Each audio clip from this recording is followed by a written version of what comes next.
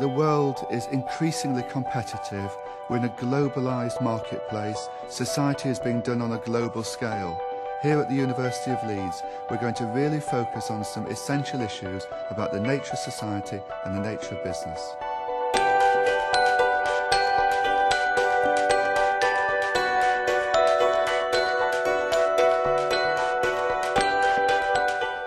I think what's really essential to understand in this theme is that all of the projects have three things in common. First of all, they're interdisciplinary. They draw on the real discipline strengths of our university. Secondly, they're collaborative. We work with the key stakeholders in social and policy action or in business. And thirdly, we're doing this in terms of real impact, action and making a better, more just and more equitable society. What do we do to tackle the growing gap between the rich and the poor?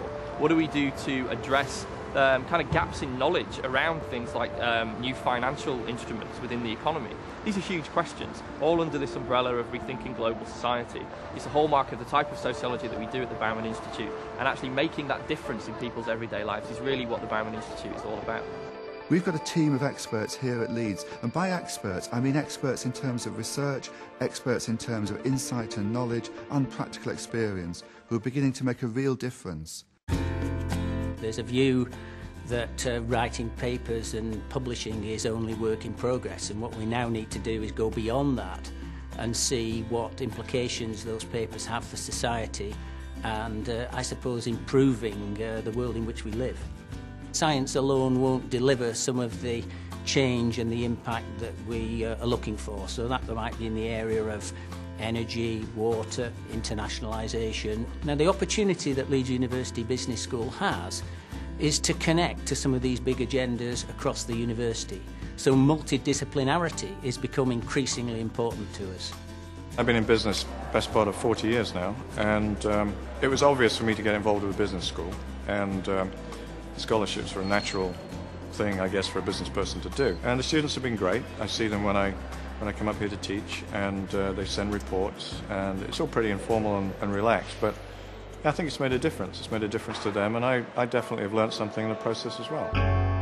Clearly, East Asia is a very important part of the world. It's very dynamic socially, it's dynamic politically, and it's dynamic in business terms.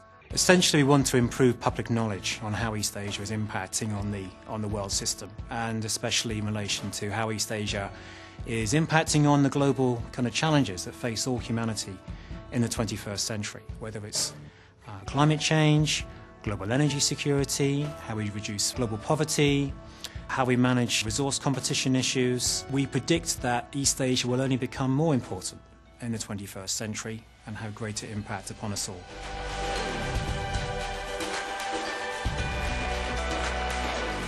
What we're trying to do here at Leeds is to develop a centre for excellence. Business exists in a context, and the context is around the nature of some pretty significant grand challenges. To be able to actually do the work here so we can make that practical benefit not just at a national level but within our own community as well.